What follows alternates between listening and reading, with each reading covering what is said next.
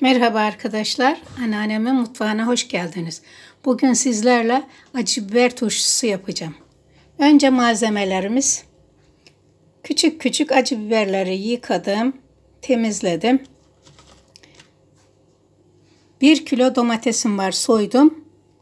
Bu yeşil yerlerini alıyorum. Bunları aldım, bu yeşil yerlerini. Bir bardak zeytinyağı, 1 bardak elma sirkesi, 8-10 diş sarımsak, 2 kaşık silme, tepeleme değil de silme şeker var. 1 çorba kaşığı da silme kaya tuzum var. Dilerseniz başlayalım. Domates, domatesleri, sarımsağı mutfak robotuna koydum ve şimdi çekeceğim. Arkadaşlar tencereyi ocağın üstüne aldım ve altını yakıyorum. Bu arada bir bardak sıvı yağ veya zeytinyağını tencereye boşalttım. Bu arada biberlerimi de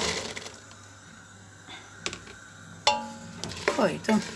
3-5 dakika kavuracağım. Ondan sonra da domatesleri ilave edeceğim. Bu arada domateslerimi mutfak robotundan geçirdim. İsterseniz rendeleyebilirsiniz. Robottan geçirdim. 3-5 dakika biberlerimizi kızartıyoruz.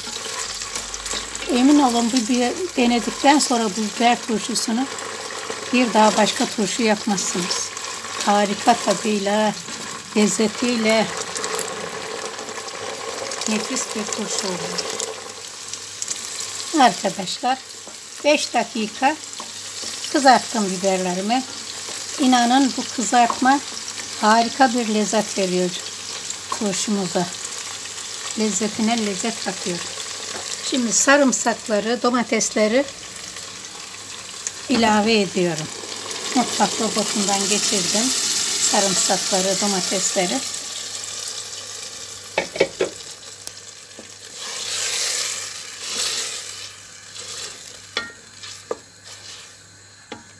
Ve kaynaması için kısık ayarı alacağım. Kısık ateşte kaynamaya devam ediyor. Bir 30-35 dakika pişmesi lazım. Arkadaşlar biber turşumuz 20 dakikadır kaynıyor. Bu aşamada bir bardak elma sirkesini ilave ediyorum. Üzüm sirkesi de olabilir. Tuzu, şekeri de ilave ettim. Bir 10 dakikada piştikten sonra kavanozlara koyabiliriz.